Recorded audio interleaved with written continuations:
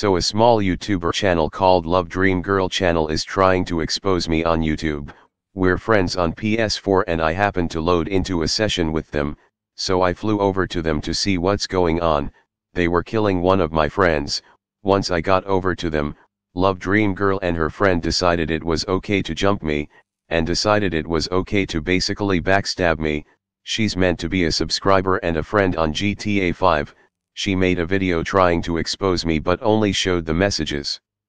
Where I said I was done with her, she didn't include any clips of her and her friend getting completely smacked, after trying to jump me and kill me for no reason, unfortunately I didn't get a chance to clip the fight, because I don't upload subs to YouTube, she's just trying to make me look bad and she's claiming, I don't give a fuck about my subs when you guys know I do, love dream girl you're acting like a child, it's 2020 this game's old as fuck and you're trying to create beef with me, I'll